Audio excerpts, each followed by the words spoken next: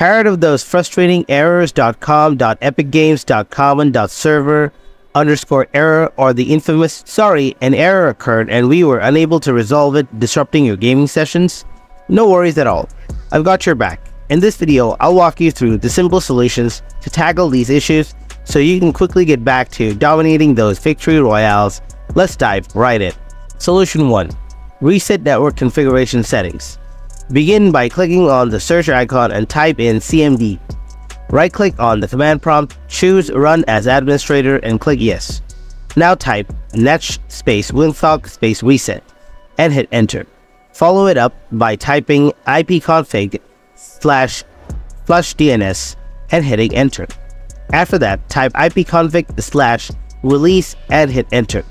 Now type ipconfig slash renew and press enter.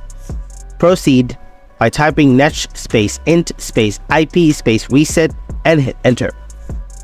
Don't worry, I'll provide these commands in the video description. Lastly, restart your computer and check if the issue resolves. Solution 2. Try changing your DNS server to an optimized one. Open command prompt again, type ping 1111 and press enter to get the ping details. Similarly, type ping 8888 and press enter.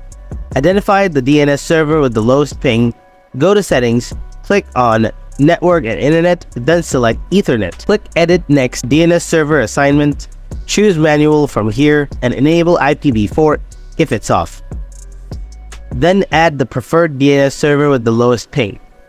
Move on to the alternate DNS, use 1001 if you're using 1111 or input 8844 if you're using 8888.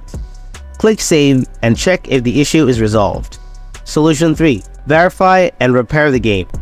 Open the Epic Games launcher, switch to the library tab, and click on the three dot icon below the Fortnite poster. Choose Manage, then click the Verify.